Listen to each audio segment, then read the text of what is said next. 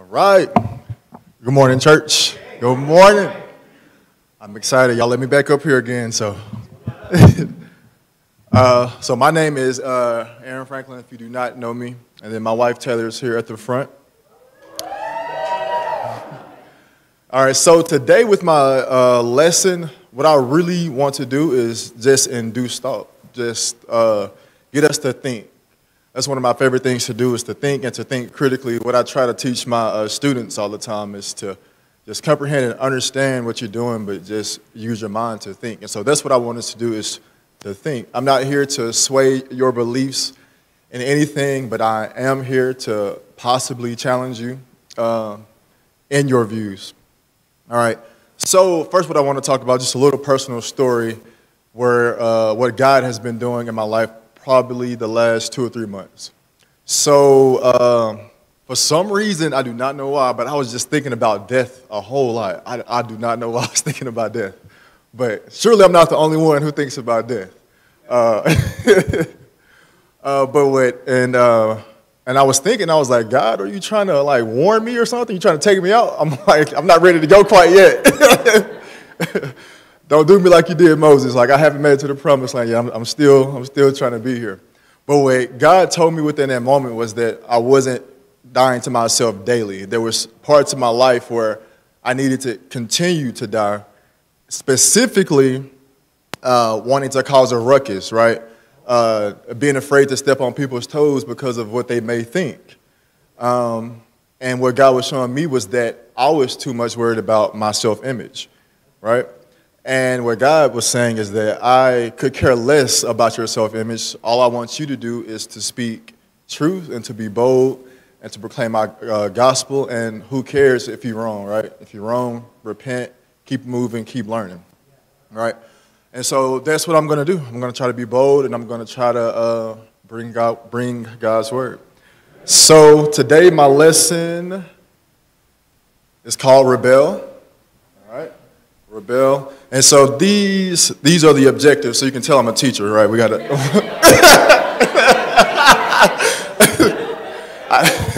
I have to make sure that they understand what's going on. All right, so we're going to look at, uh, at some that have rebelled against systems and why. And then we're going to question our dependence on it and then ask ourselves uh, questions to critically think. All right. So uh, before I go, I got to talk about what systems are. And so in this lesson, when I say the world system, I'm talking about Satan's kingdom. If I'm talking about the physical world system, I'm talking about us, our economic system here on earth. And obviously, if I'm talking about the kingdom of God, I'm talking about his system. All right, so there are two major systems and only two, only two. There's the kingdom of uh, Satan that's headed by Satan and his uh, demonic spirits.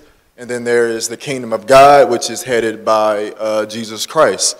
Now, what we have to understand is that everything that happens here in this physical earth is impacted in the spiritual. Right? Everything that goes on is, is because of what is going on in the spiritual realms.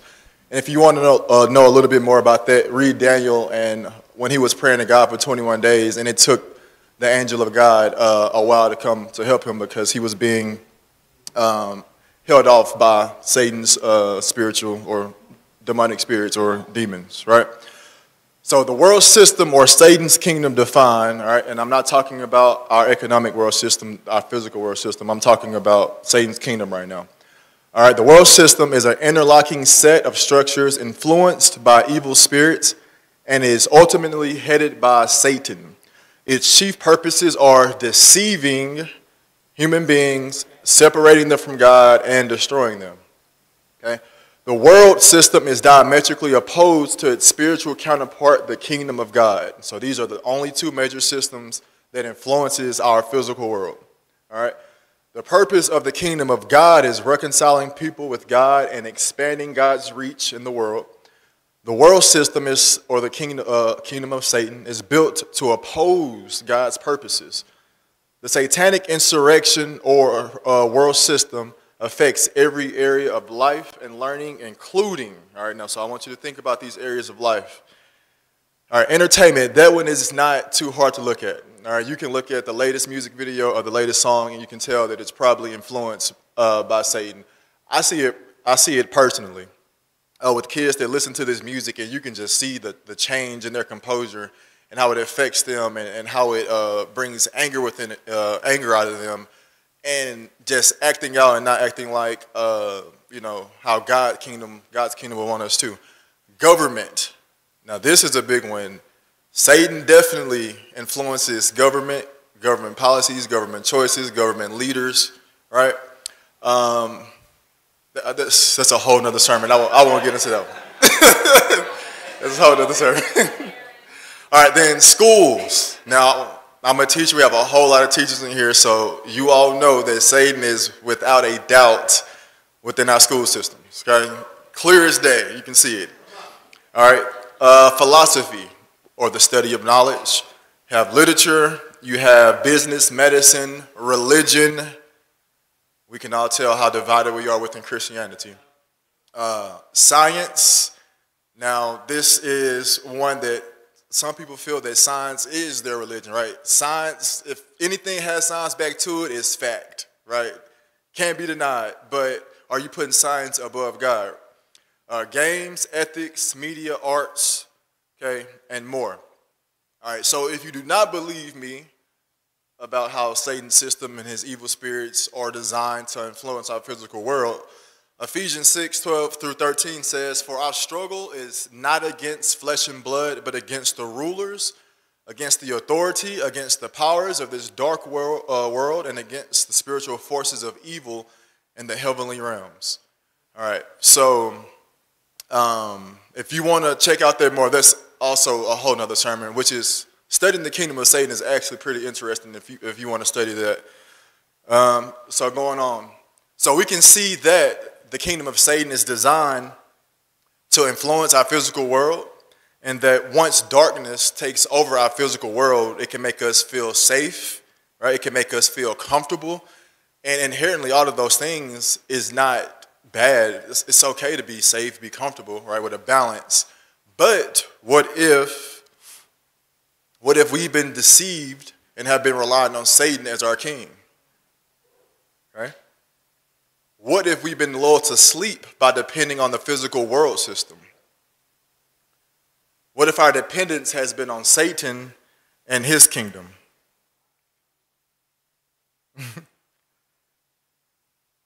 All right, but um, we've talked about systems long enough, so what I want to talk about now is rebellion, us rebelling against this system. So here are the reasons you rebel. All right, you rebel. Rebellion, uprising, or insurrection is a refusal of obedience or order. A rebellion originates from a sentiment of indignation and disapproval of a situation and then manifests itself by the refusal to submit or to obey to the authority responsible for this situation. All right, so I work at Northwest Classen, which isn't too far from here, and we have uh, kids from Guatemala who, in, who comes to our schools all the time.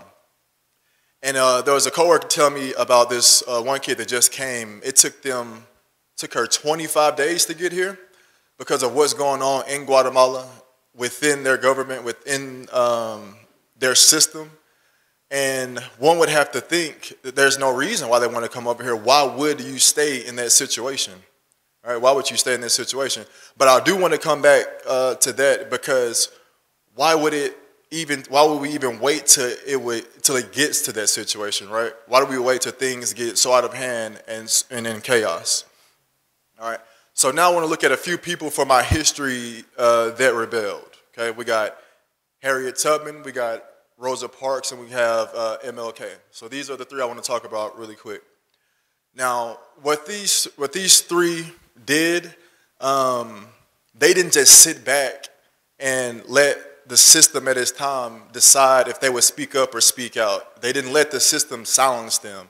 Right? They stood up against what was going on, the oppression that was going on, and they knew they counted the cost that their lives would probably be on the line. Right? But yet and still, they did. All right. Martin Luther King, MLK, being a black man, he, he absolutely had to know that he was going to get killed. He had to know. The things that he was speaking, uh, and the things that he was saying, there was no doubt that he was going to get killed eventually. But I believe there was a, a cost that he counted.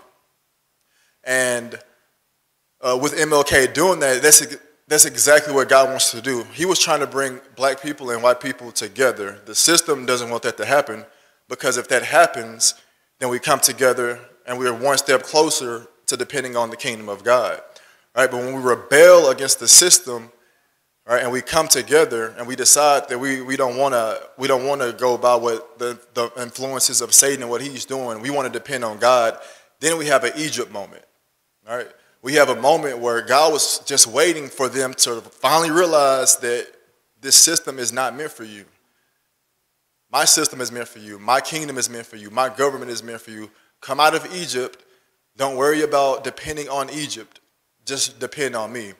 All right. And when we do that, God can rise up and do amazing things, and that is what He wants. And it's no reason why Paul was saying, "Be united uh, before you devour each other," because we're, if we're not united, if we don't come together, then God can't powerfully move in our lives like He wants us to move. All right. So,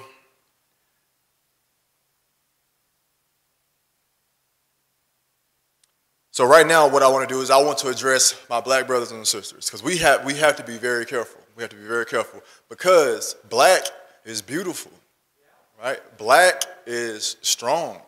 Black is history, but we have to be very careful careful that we one we don't make black an idol and we don't put black culture over kingdom which we can easily do. And two, we cannot allow hatred in our hearts to resonate towards our white brothers and sisters. Personal story, my, I had uh, three grandmothers. Uh, one was born in 1923, I believe. The other two were born in the 50s. And to be just open and honest, they could not stand white people. It took them their whole lives to finally get rid of that hatred that was in their hearts. And they would tell me stories about what happened to them and things that that uh, that happen within that, their societies. All right, and it just for them to even open up about that uh, showed the growth that they were trying to have, but it was still so very hard. Like they couldn't even watch some of those movies that they would come out, like 12 Years a Slave, and none of they couldn't. It was just too much for them because it brought back too much pain and emotion. And so, what I want us to be careful is that we don't allow that hatred and resentment in our hearts to allow us to be divided against our white brothers and our white brothers and our white sisters because white people are beautiful, right? White people are strong, right? White people are courageous, and if we come together, God's kingdom moves more powerfully than Satan's kingdom can ever do. Okay?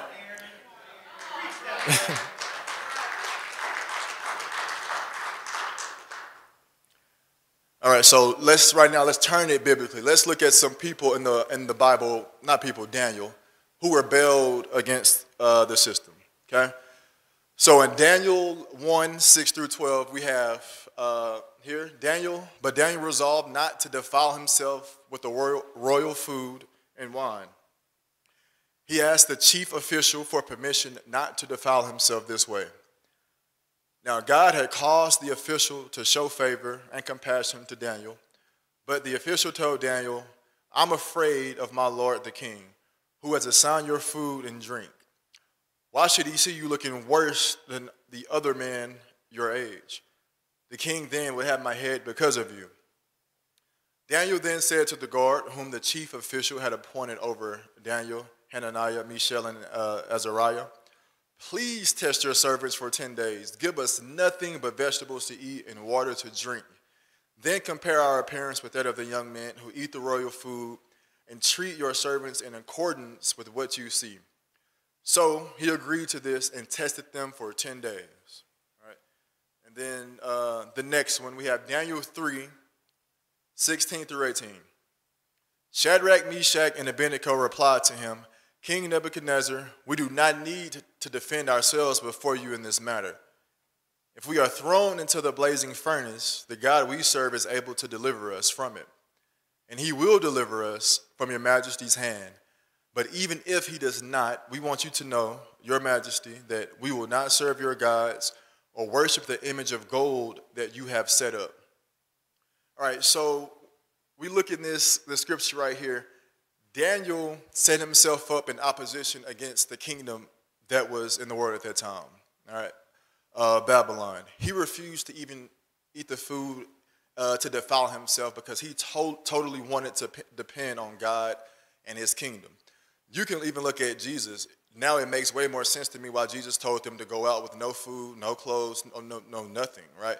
He wanted them to totally depend on God and to totally depend on his system because there is deceit when you get comfortable and you want to depend on this physical world system for your pleasures, for your entertainment, for your safety, for your job, for the money that you get. All those things are good, but like I said earlier, what if those systems are influenced by the kingdom of Satan and we have no idea, right? All right. And then right here, they were willing to even be thrown into the to the uh, blazing furnace before they would bow down to worship Nebuchadnezzar. Now, how many of us are willing to put God's kingdom above this physical world system, to totally be separate from it, all right, and to totally worship God without that fear. Because as we see, when you rebel against Satan's kingdom and the influences that he tries to put here on earth, there's going to be danger, all right? You will be attacked, you will be persecuted, your life could possibly even be in danger. Harriet Tubman, Rosa Parks, Martin Luther King, right? The things that they did, it, it wasn't, we, we can't just brush over it. They were putting their lives uh, at stake. That's not something that we can brush over. But as Christians, which I'm gonna, I want to get to this point here in a bit. As Christians, are we willing to put our lives at stake to rebel against the kingdom of Satan? Can you even really distinguish us from Satan's kingdom and from the kingdom of God? It's, it's pretty tough to see, right?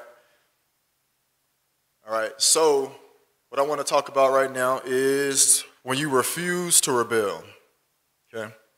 When you refuse to rebel, all right? Now, as we said, as we said earlier, the refusal to rebel, or when you when you rebel, there will be danger. But are you going to rely on safety and comfort, or are you going to rely on God? And when you refuse to rebel, you allow these things within the world system and Satan's influences to keep impacting them. Okay? So as a church, we can't keep sitting back, and this is probably the most important thing I really want to talk about today. As a church, we can't keep sitting back and looking at the things in the world as if it's nothing. We have to pay attention to what's going on. Everything in the Bible was about political things, political uprisings, right? But I'm afraid that we're just sitting back because we don't want to get our, our hands wet. We don't want to get our feet dirty. We're afraid to speak up with what's going on, okay?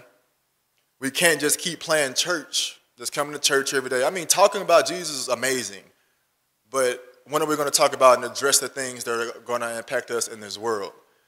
Because we all know the end of things, there's going to be the Antichrist coming up to try to set himself up as Jesus. So we have to understand that Satan is trying to influence us, he's trying to deceive us. Okay?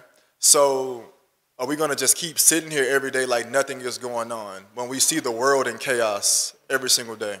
We're supposed to be the salt and supposed to be the light. All right, we're supposed to impact, rebel against Satan's kingdom. Anytime we see the influence of Satan's kingdom in any area of life, whether it's schools, whether it's entertainment, whether it's the government, as kingdom citizens, we're supposed to stand up, rebel against it, take back land, take back territory, take back uh, it all for the kingdom of God to allow his influences to reach throughout the whole entire earth, which was God's original plan with Adam and Eve, but we messed up, right? His whole purpose was to spread the kingdom and to, was to spread peace, his peace, throughout the whole entire world. All right? So now to critically think, to just to ask yourself questions, right? To challenge you a little bit. Because when we keep saying yes and yes to what the government and this world, this physical world system gives us, and we don't say no, we don't deny ourselves, we don't deny our flesh, how can we even determine what is from God and what is from Satan? When we make decisions, have we really set to think about the impact from the spiritual world and how it's influencing the physical world? Because Daniel didn't even accept food and water. Right? So are we thinking about these things? Mandates. Have we thought about is that from God or is that influenced by Satan? Putting us against each other with division between being vaccinated and not vaccinated, arguing with each other and being down each other's throats. Is that influence from God or is that influence from Satan? Because God is not a God of confusion, God is not a God of disorder. So you really have to think and, and ask yourself this. Right? The people, the young men and women who are getting gunned down in the streets of Chicago, even here in Oklahoma City, you see young men and women getting gunned down. Is all this violence and hatred and anger influenced from the kingdom of God, or is it influenced from the kingdom, kingdom of Satan? And if it's influenced from the kingdom of Satan, then, well, as a church, we have not done our job. We have not been ambassadors of Christ to go out into this land, to take back land, to make it look a little bit more like the Garden of Eden. That's our whole purpose here, is to be Christ's ambassadors, to come and subjugate this earth for God.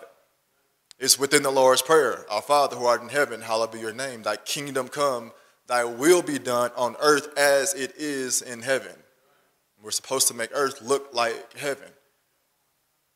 Okay? When we see uh, immigration at the borders and all these things, are we devouring each other of division and, and going against each other because of our views and our perspectives? Or are we trying to make it look like the kingdom of God? Because everybody's going to have different perspectives, everybody's going to have different views. But what brings our perspectives and our views together? Jesus. You go back to Jesus, right? Be careful that you're not devoured so you don't divide each other, so you, so you don't devour each other. Okay? Satan is like a, a walking lion looking to deceive us and to devour us, to put us against each other. My goal is to bring everybody together because the enemy is not each other. The enemy is not even people who, who don't believe in God. the enemy is Satan and his spirits that he puts above the different areas here on earth. Okay? So we really have to really sit and ask each other these questions. Because the world is looking for somebody to step up and stand out for this. And if we're not doing it, well, everybody else is going to figure out a way to do it and come up with their own plans. But any movement that has, hasn't had God in it has what? Has failed. If God is not in the movement, it's not gonna, it's not gonna work. It's not gonna last. So what are we doing as a church? This is the only reason why God has us here. And I don't want to keep repeating myself, but I'm just kind of tired of, sitting back, just coming to church and just just doing the thing we do. All right, when we have so much stuff going on. All right, um, and last night was we was out. Uh, at Taylor H's uh, birthday dinner. And the conversation got brought up, and I was like, this, I know God is wanting me to talk about this. Because we were talking about, because I was going to use an example of like the frog being in the boiling water and just warming us up until next thing we know, things have, we're dead, right? We haven't even done anything. We're dead. We can't even, we can't even fight back, all right? And so we had a conversation, had a conversation with a couple of brothers, and we were talking about TikTok and China creating TikTok to come in here and infiltrate, same thing as what Satan tries to do, infiltrate our world by dumbing us down to make a weaker America. And I thought that was very interesting uh, as, a, as a new way of warfare. I, I hadn't even never thought about it in that perspective. But that is my fear that we are being dumbed down as Christians, not able to make an impact in this earth, let alone, let alone our city. Like just here in Oklahoma City, that's a start. That's a start. But I think God wants more than that. God is, like I said earlier, God is looking for people who are willing to rebel against what Satan is trying to do in his world systems and depend solely on him and his kingdom. Solely on him and his kingdom. All right, so I want to leave us with just a few, with a few uh, scriptures. All right, Matthew 24 says, for false messiahs, and this is not in the, the perfect context. I'm just, I just want to get my point uh, about deception. All right, for false messiahs and false prophets will appear and perform great signs and, and signs and wonders to deceive, if possible, even the elect. All right, the elect is Christians. This is Jesus saying that we will be deceived. So every day, anybody can be deceived. Every day we have to ask ourselves, okay, am I just accepting this and, and going along with this, or am I really seeing if this is from the influence of the kingdom of Satan and his world system? and of God, or of God. And if it's not, I need to rebel against Satan's system, and I need to come and depend solely on God. And then uh, in 2 Timothy, it says, In fact, everyone who wants to live a godly life in Christ Jesus will be persecuted. While evildoers and impostors will go from bad to worse, deceiving, so they're trying to deceive us, and being deceived. And I ask myself this question I wonder, it says being deceived, who are they being deceived by? And my only thing I can think of is Satan and his plans that he has for the world. Okay? And so to ask yourself, I mean this daily, am I being deceived? Am I going along with the flow? Am I wanting to cause a ruckus? Am I wanting to, to stand up and to speak out against what I see? Okay? If I see injustices, am I going to just downplay what somebody else is experience, experiencing, or am I going to try to am I going to try to figure out figure out a way to bring God's kingdom into the situation to take back more land for God? Okay, am I going to stand up and stand up stand out here in the, this physical world system that we're living in? How can I be different? How can I look more like God? All right. So just wrapping up, um, just looking back at what the what the world system is and what it's designed to do. Right. It's designed to uh, Satan's system is designed to infiltrate this physical world system to have us to depend on it. Just look at people who rebelled against the systems and the reasons why you do rebel. Right? You rebel because just oppression, right? You rebel because the system isn't working for you anymore. Okay? And then look at people like Harriet, like Rosa, like Martin, who counted the cost, who knew that I'm probably going to lose my life, but my life is worth losing for the better good of humanity. If I can make this world look just a little bit more like God, I've done my part in his miraculous plan that he has for earth. Right? Look at Daniel, who turned away from, who turned away food so he wouldn't defile himself, so that he wouldn't look like uh, Babylon at the time, so he could be separate, right? Was willing to go into the fire, then bow down against the false idol and a false image. Right? And then asking ourselves these questions. Right? Am I just sitting back, being lulled to sleep, playing church? Or am I out really trying to do something, really trying to get my uh, perspective, my viewpoint into this world to make it look like God's? Am I standing up? Am I using my gifts and my talents for God and His kingdom? All right. And then just these two scriptures right here, just something to self reflect on throughout the week and all the time, right? Am I being deceived? Am I going with the flow? Am I wanting to stand up and make an impact? All right, so I'm going to close.